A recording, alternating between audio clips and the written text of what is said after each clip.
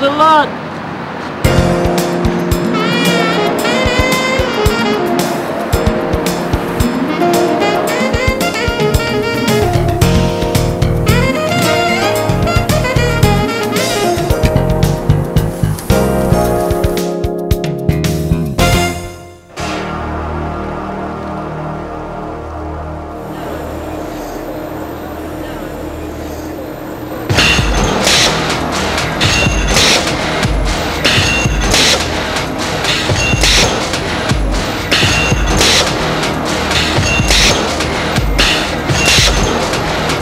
I'm Jack Hull with Trak n Seal. We're here today to show you our newest product. It's a replacement for calcium chloride of using calcium chloride or it will also work with calcium chloride. It's called TSP5. We developed a brand new revolutionary technique for applying the product that makes it much simpler and easier to apply. We've devised a canister, which uh, two canisters actually, one canister to put the dry powder in through the valve stem assembly and then another canister to put the water in if you choose to do that. If you have local water source available under pressure, we have a water meter that allow you to apply water as well as the dry powder directly through the valve stem so that you do not have to dismount the tire from the rim like it is like in the case of TSP2, our current product with a water-soluble bag. This product will provide 3-inch sealant protection.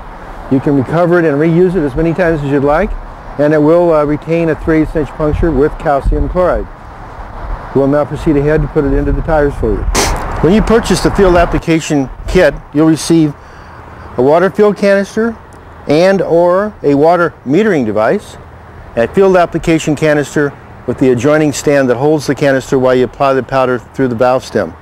We'll now show you how to put the powder into the tire. This is the special tool valve core assembly that we designed to allow application of the dry powder easily through the valve stem assembly. As you can see, the orifice allowing the powder is quite a bit larger. It's a quarter of an inch whereas your standard air valve stem assembly is more like a 16th. We're now going to remove the air from the tire and put this specially designed valve core assembly in.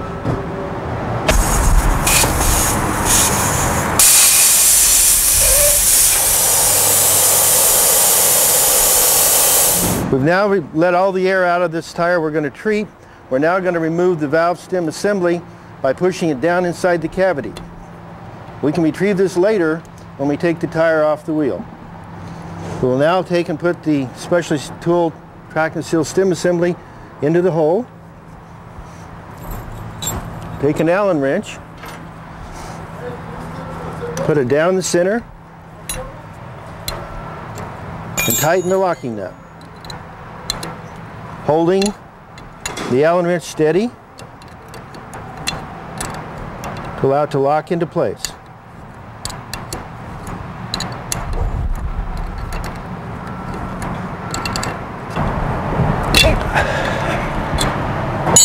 This is the field application canister mounted on the stand, portable stand that we'll use to move over and put in the powder into the tire.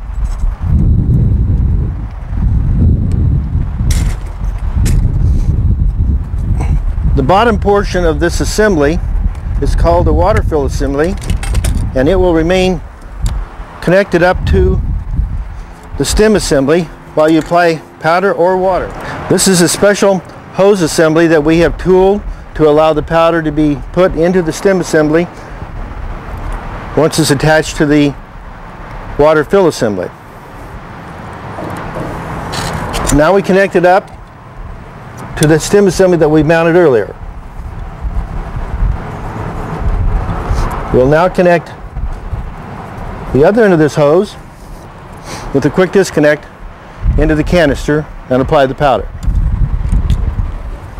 We're now going to fill the field application canister with the powder, remove it from the stand, rotate it so that the quick disconnect, the large quick disconnect is mounted on top. Attach the locking mechanism, straps, to hold it in place while you fill it.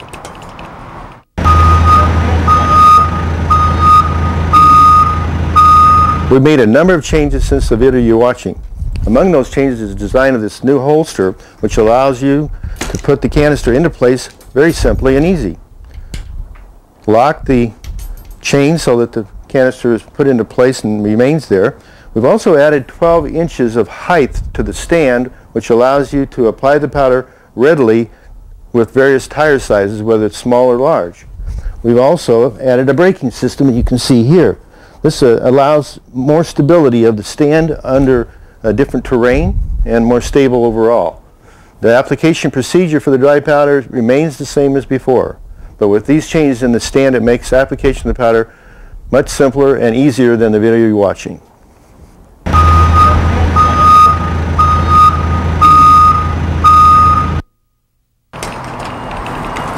Now we're going to remove the cap off of the top.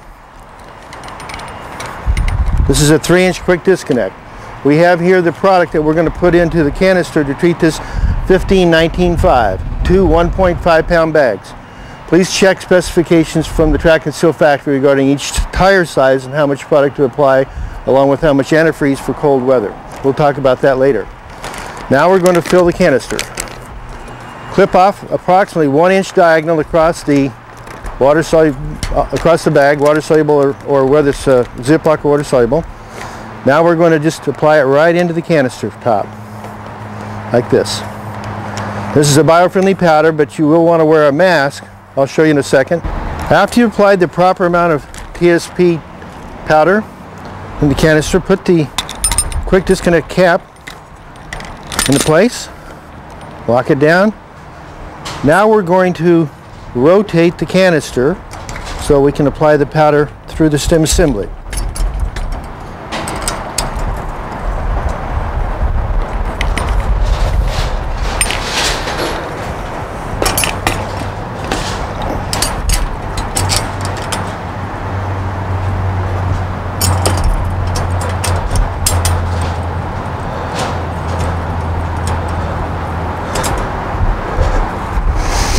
Connect the field application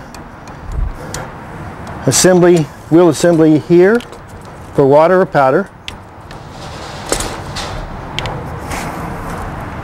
Close your exhaust port. Apply air pressure, making sure your valve is off first. You should have 20 psi already preset on your canister like I have here for the regulator. That's already preset.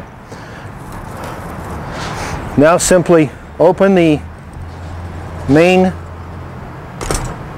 valve at the bottom to allow the powder to go in and apply air pressure. Watch the powder disappear into the tire.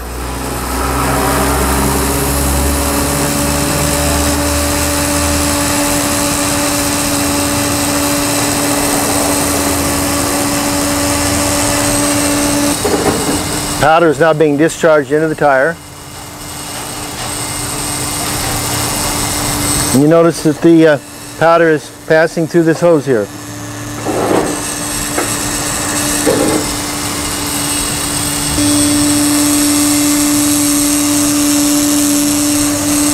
Okay, we've applied all the powder. We'll turn off the air valve, close the main outlet valve, and open the air exhaust valve to remove pressure off of the line so we can disconnect it.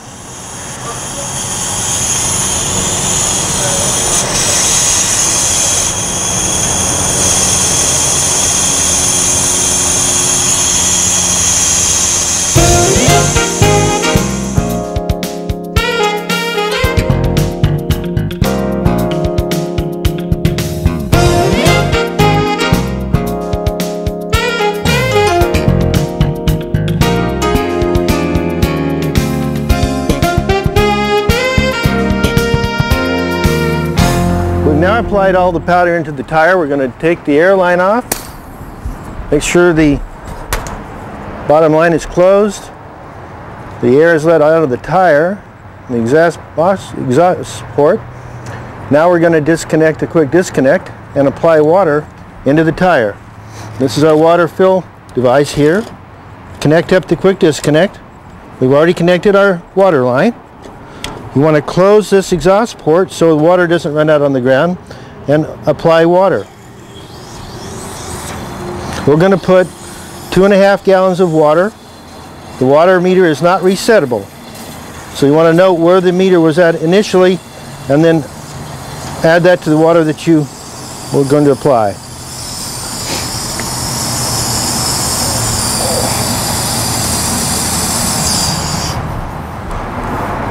Now that we've applied the water into the tire, release the air pressure, turn off your water valve, release the exhaust line to let air and water in the line out of the tire.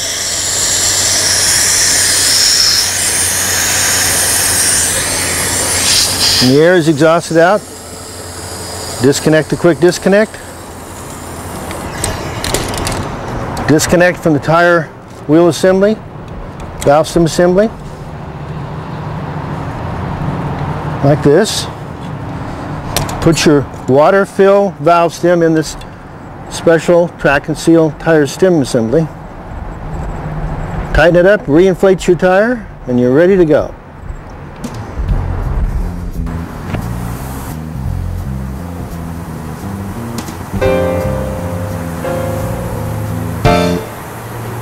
If you do not have a water pressure source available, you can apply water using the water fill canister. We've mounted it here in the stand. You can also apply antifreeze if you need to put it in a tire and you actually do have water pressure available. You need to put the antifreeze in with this canister. Take the cap off the canister just like in the field application assembly. We have previously filled this canister uh, can with one half gallon of water which we're going to pour into the canister. You'll want to put two cans of liquid, some antifreeze uh, as appropriate, for a 10-16-5 tire, which would take one gallon of water and antifreeze and or antifreeze. Put your cap back on.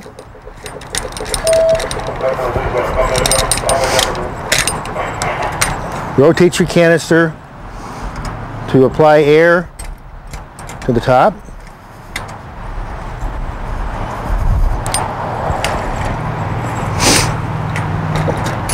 Remount your canister. Okay, we're ready to go. Connect up the air line. We previously set our regulator for 20 psi.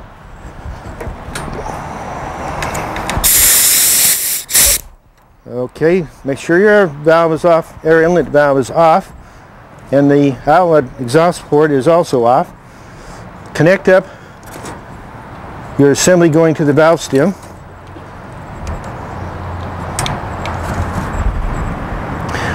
Now you want to open the valve, close your exhaust port so air does not go outside.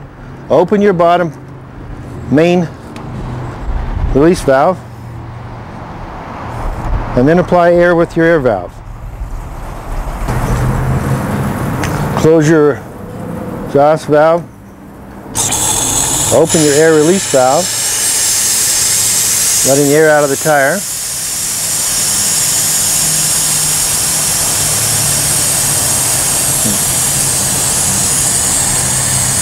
Disconnect your disconnect your line from the stem. Put in your valve stem and it inflate to the proper pressure. You're now ready to go. The tire is treated and freeze protected if necessary. Our product line will maximize tire life. Tire integrity is the responsibility of the tire manufacturer. Please contact your tire purveyor to determine the reasonable safe life expectancy of this tire and notify your dealers and customers of this time limit.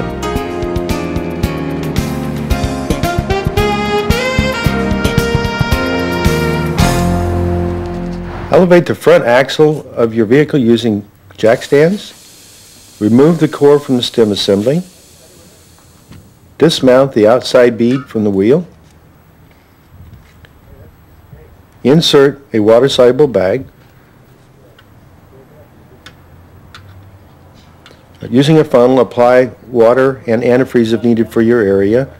You would put one quart of biofriendly antifreeze with three quarts of water to treat a 10-16-5. Remount your tire and apply proper air pressure. TSP is an excellent bead sealant. If you have difficulty mounting your wheel to the tire, simply paint between the bead and the rim during the mounting process. Add one half cup of powder to one cup of water when applying this bead sealant. TSP is instantly effective and instantly protects against 3 inch punctures. Unlike some ballast products, Seal powder is biofriendly and eliminates the hazards associated with calcium chloride. For those of you using calcium chloride today, we've designed a new product. It's TSP5. It provides sealant protection with calcium chloride and will allow you to keep it in the tire rather than exposing it out into the environment. It can be applied with the field application canister or you can put in with a water soluble bag. Uh, you'd apply five bags, uh, three times this size when mounting the tire to the wheel. It is retrievable and can be reused indefinitely. Trak n Seal savings add up when you figure the cost of tire repair downtime. Two hours of downtime at $37.50 per hour rental rate plus $75 per tire repair cost and 50 to $200 per hour in overhead expenses can cost you $450 or more per flat.